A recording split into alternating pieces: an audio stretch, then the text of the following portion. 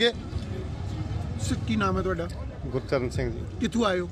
ਅੰਮ੍ਰਿਤਸਰ ਤੋਂ ਜੀ। ਕਿੰਨੇ ਦਿਨ ਹੋ ਗਏ ਇੱਥੇ ਆਏ ਨੂੰ? ਦੋ ਦਿਨ ਹੋ ਗਏ। ਅੱਛਾ 2 ਦਿਨ ਹੋ ਗਏ।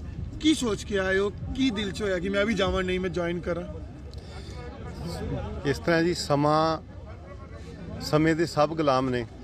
ਜੇ ਅੱਜ ਜਿਹੜਾ ਸਾਨੂੰ ਗੁਰੂ ਬਾਬੇ ਨੇ ਸਿਧਾਂਤ ਦਿੱਤਾ ਸੀ ਜੀ ਜੀ। ਕਿ ਸੱਚ ਕੀ ਬਾਣੀ ਨਾਨਕ ਆਕੇ ਸੱਚ ਸੁਣਾਏ ਕੀ ਸੱਚ ਕੀ ਬੇਲਾ।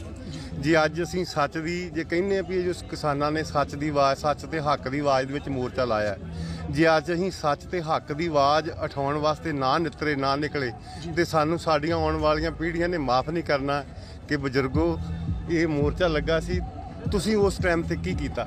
ਇਸ ਕਰਕੇ ਅਸੀਂ ਸਾਡੀ ਜ਼ਮੀਰ ਨੇ ਇਹ ਆਵਾਜ਼ ਦਿੱਤੀ ਕਿ ਸਾਰਾ ਸਾਡੇ ਭਰਾ ਭਾਈਚਾਰਾ ਸਾਡੇ ਇਸ ਮੈਦਾਨ ਦੇ ਵਿੱਚ ਕੁੱਦਿਆ ਹੈ ਤੇ ਅਸੀਂ ਇਸ ਤੋਂ ਪਿੱਛੇ ਨਾ ਰਹਿ ਜਾਈਏ। ਕਿ ਅਸੀਂ ਆਪਣੇ ਆਪ ਨੂੰ ਆਉਣ ਵਾਲੇ ਸਮੇਂ 'ਚ ਕੋਸੀ ਲੱਖਾਂ ਦੀ ਤਾਦਾਦ ਦੇ ਵਿੱਚ ਕਿਸਾਨ ਪੁੱਜੇ ਨੇ। ਲੇਕਿਨ ਸਰਕਾਰ ਸੁਣਨ ਨੂੰ ਰਾਜੀ ਨਹੀਂ। ਕਦੇ ਕਹਿੰਦੀ ਹੈ, ਅਸੀਂ ਸੰਸ਼ੋਧਨ ਕਰ ਦਿੰਨੇ ਆ ਘਟਾ ਵਧਾ ਲੈਂਦੇ ਆ ਪਰ ਜੋ ਅਸਲ ਮੰਗ ਹੈ, ਉਹ ਨਹੀਂ ਸੁਣੀ ਜਾ ਰਹੀ। ਤੇ ਕੀ ਲੱਗਦਾ ਕਿਉਂ ਦੇਸ਼ ਦਾ ਅੰਨਦਾਤਾ, ਜਿਹਨੂੰ ਰੀੜ ਦੀ ਹੱਡੀ ਕਹਿੰਦੇ ਨੇ, ਉਹ ਠੰਡ 'ਚ ਠਿਠਰੇ ਕਰਦੀ ਹੈ ਸੜਕਾਂ ਤੇ? ਇਹ ਅੱਜ ਦੀ ਗੱਲ ਨਹੀਂ ਹੈ ਮੇਰੇ ਮਿੱਤਰੋ। ਇਹ ਮੁੱਢ ਕਦੀਮ ਤੋਂ ਜਦੋਂ ਤੋਂ ਆਜ਼ਾਦੀ ਮਿਲੀ ਹੈ, ਸਾਡੇ ਨਾਲ ਇਦਾਂ ਹੀ ਹੁੰਦਾ ਆ। ਅਸੀਂ ਆਖਦੇ, ਤੁਸੀਂ ਭਰਾ ਸਾਡੇ ਭੈੜੀਆਂ ਬੋਲੀਆਂ ਬੋਲਦੇ ਰਹੇ। ਹੇਰਾ ਫੇਰੀ ਤੋਂ ਇਹ ਨਹੀਂ ਬਾਜ ਆਏ, ਡੰਡੀ ਮਾਰਦੇ ਰਹੇ, ਘੱਟ ਤੋਲਦੇ ਰਹੇ।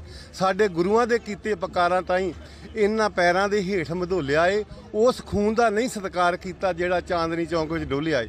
ਪਹਿਲੋਂ ਆਜ਼ਾਦੀ ਦੇ ਵਿੱਚ ਸਾਨੂੰ ਇਹਨਾਂ ਗਲਵੱਕੜੀ 'ਚ ਲੈਣ ਦੀ ਕੋਸ਼ਿਸ਼ ਕੀਤੀ। ਵੀ ਅਸੀਂ ਤੁਹਾਨੂੰ ਪੂਰਾ ਨਿੱਘ ਦਿਆਂਗੇ, ਪੂਰੇ ਹੱਕ ਹਕੂਕ ਦਿਆਂਗੇ। ਜਦੋਂ ਆਜ਼ਾਦੀ ਅਸੀਂ ਲੈ ਕੇ ਇਹਨਾਂ ਦੀ ਝੋਲੀ ਵਿੱਚ ਪਾ ਦਿੱਤੀ, ਫਿਰ ਸਾਨੂੰ ਇਹਨਾਂ ਨੇ ਆਪਣੇ ਦਰ ਦੇ ਭਖਾਰੀ ਬਣਾ ਕੇ ਰੱਖ ਦਿੱਤਾ।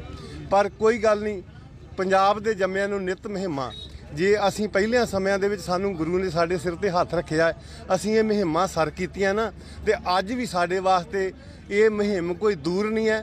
ਹਿੰਮਤ ਮਰਦਾ ਮਦਦ ਦੇ ਖੁਦਾ ਸਾਨੂੰ ਆਪਣੇ ਗੁਰੂ ਤੇ ਵਿਸ਼ਵਾਸ ਹੈ ਆਪਣੇ ਗੁਰੂ ਤੇ ਭਰੋਸਾ ਹੈ ਕਿ ਸਾਡੀ ਉਹ ਕੰਡ ਨਹੀਂ ਲੱਗਣ ਦੇਵੇਗਾ ਇਹ ਜਿੰਨੀਆਂ ਮਰਜ਼ੀ ਸਾਡੇ ਪ੍ਰਤੀ ਕੋਝੀਆਂ ਚਾਲਾਂ ਚੱਲ ਲੈਣ ਕਿਹੜੇ ਕਿਹੜੇ ਰਾਜ ਕਿਹੜੇ ਕਿਹੜੇ ਸਟੇਟ ਦੇ ਕਿਸਾਨ ਜਿਹੜੇ ਤੱਕ ਹਾਲੇ ਤੱਕ ਇੱਥੇ ਪੁੱਜਨੇ ਤੁਹਾਡੀ ਜਿਹੜੀ ਨੌਲੇਜ ਹੈ ਤੁਹਾਨੂੰ ਪਤਾ ਲੱਗਿਆ ਕੌਣ ਕੌਣ ਆਇਆ ਕਿੱਥੋਂ ਕਿੱਥੋਂ ਆਇਆ? ਜੋ ਮੈਂ ਮੀਡੀਆ ਤੋਂ ਸੁਣਿਆ ਜਾਂ ਅਖਬਾਰਾਂ ਤੋਂ ਨਿਊਜ਼ ਪੇਪਰਾਂ ਤੋਂ ਪੜ੍ਹਿਆ ਜੀ। ਪੰਜਾਬ ਸਾਰਾ ਪਹਿਲਾ ਸਿਰਾ ਤੇ ਪੰਜਾਬ ਦੇ ਸਿਰ ਤੇ ਜਾਂਦਾ।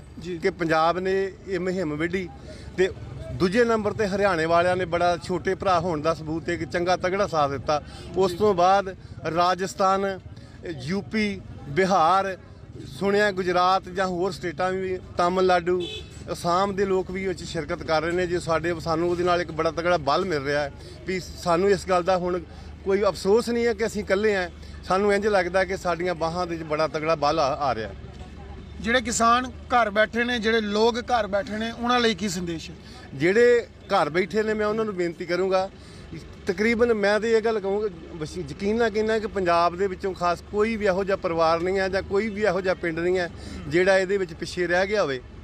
ਪਰ ਫਿਰ ਵੀ ਜੇ ਕੋਈ ਪਿੱਛੇ ਰਹਿ ਗਿਆ ਤਾਂ ਮੈਂ ਉਹਨਾਂ ਨੂੰ ਬੇਨਤੀ ਕਰੂੰਗਾ ਕਿ ਜਿਹੜੇ ਸਾਡੇ ਕਿਸਾਨ ਭਰਾ ਅੱਜ 18 17 ਦਿਨ ਤੋਂ ਇੱਥੇ ਆਣ ਕੇ ਬੈਠੇ ਨੇ 2.5 ਮਹੀਨੇ ਪਹਿਲਾਂ ਤੋਂ ਰੇਲਾਂ ਤੋਂ ਬੈਠੇ ਨੇ, ਮੈਂ ਉਹਨਾਂ ਦਾ ਇੱਕ ਇਨਸਾਨੀਅਤ ਹੋਣ ਦੇ ਨਾਤੇ ਇੱਕ ਫਰਜ਼ ਉਹਨਾਂ ਨੂੰ ਯਾਦ ਕਰਾਉਣਾ ਚਾਹੁੰਦਾ ਕਿ ਉਹਨਾਂ ਦੇ ਜਿਹੜੇ ਪਿੱਛੇ ਰਹਿੰਦੇ ਕੰਮ ਨੇ ਕਿਸੇ ਦੀ ਕਣਕ ਨੂੰ ਪਾਣੀ ਲੱਗਣ ਵਾਲਾ ਹੈ ਕਿਸੇ ਦੇ ਕੋਈ ਘਰ ਪਰਿਵਾਰ ਦੇ ਵਿੱਚ ਜੀ ਬਿਮਾਰ ਹੈ ਉਹਨਾਂ ਦੀ ਹੈਲਪ ਕੀਤੀ ਜਾਵੇ ਉਹ ਵੀ ਤੁਹਾਡਾ ਕਿਸਾਨੀ ਮੋਰਚੇ ਦੇ ਵਿੱਚ ਇੱਕ ਯੋਗਦਾਨ ਗਿਣਿਆ ਜਾਊਗਾ। ਮੈਂ ਆਪਣੇ ਉਹਨਾਂ ਭਰਾਵਾਂ ਨੂੰ ਸੁਨੇਹਾ ਦੇਣਾ ਚਾਹੁੰਦਾ ਤੁਹਾਡੇ ਮਾਧਿਅਮ ਦੇ ਰਾਹੀਂ। ਬਹੁਤ ਬਹੁਤ ਧੰਨਵਾਦ। ਜੀ ਸਰ। ਵਾਹਿਗੁਰੂ ਜੀ ਕਾ ਖਾਲਸਾ ਵਾਹਿਗੁਰੂ ਜੀ ਕੀ ਫਤਿਹ। ਪੰਜਾਬ ਹਰਿਆਣੇ ਨੇ ਸਾਰੇ ਦੇਸ਼ ਦੇ ਸੂਬਿਆਂ ਆਪਣਾ ਦੇਸ਼ ਦੇ ਸੂਬਿਆਂ ਚੋਂ ਪ੍ਰਧਾਨ ਮੰਤਰੀ ਜੀ ਨੂੰ ਆਪਣਾ ਸਮਝ ਕੇ ਤਖਤ ਤੇ ਬਿਠਾਇਆ ਸੀ। ਪਰ ਇੱਕ ਮੈਨੂੰ ਸ਼ਾਇਦ ਸ਼ੇਰ ਯਾਦ ਆ ਗਿਆ, ਬੜਾ ਕਮਾਲ ਏ। ਜੋ ਸਾਡੇ ਆਪਣਿਆਂ ਨੇ ਸਾਡੇ ਨਾਲ ਕੀਤੀ, ਇੱਕ ਸ਼ਾਇਰ ਹੈ, ਕਹਿੰਦਾ ਲੱਕੜ ਰੂਪੀ ਕਹਾੜੇ ਵਿੱਚ ਦੇਖ ਦਸਤਾ। ਮੇਰੇ ਜੜੀ ਤੱਕ ਲਾਇਆ ਤਾਂ ਮੇਰੇ ਆਪਣਿਆਂ ਨੇ, ਫੁੱਲ ਰੋਬਿਆ ਮਾਈ ਹੱਥ ਵੇਖ, ਮਾਲੀ ਹੱਥ ਵੇਖ ਸੂਈ।